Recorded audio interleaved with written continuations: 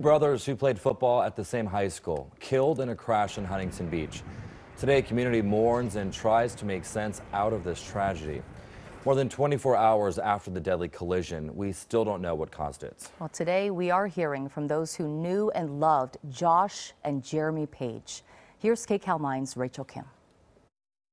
I'm sorry, I get choked up. Diane Johnson got emotional talking about the loss of two brothers at Edison High School in Huntington Beach. She retired from the school after working security and attending all the football games. That's where 18 year old Josh Page and his 17 year old brother Jeremy Page stood out on the field and off. They're just really good kids, really good kids, and I just wanted to share that. And Josh was an Eagle Scout and Jeremy was on his way to be an Eagle Scout. He was working his way there. Investigators say Josh and Jeremy were killed as they were on their way to school Monday morning. Their pickup collided with a truck owned by the city of Huntington Beach. The other driver was not injured. It's not something you would ever expect.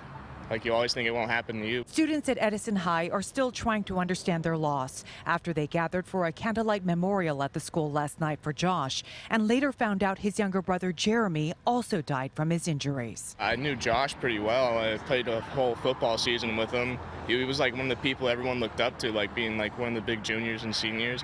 He was a real hard worker. I think Josh was always just a nice person guy didn't have a mean bone in his body, and neither did Jeremy. And I think it's sad. Diane Johnson says she cannot imagine what Josh and Jeremy's parents are going through. They're a wonderful family. The parents are always participating in all the activities the boys do. You're in our prayers.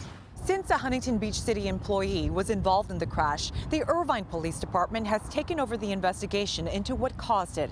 They have not determined a cause yet, but they do not believe alcohol or drugs were involved. Reporting in Huntington Beach, Rachel Kim, KCAL 9 News.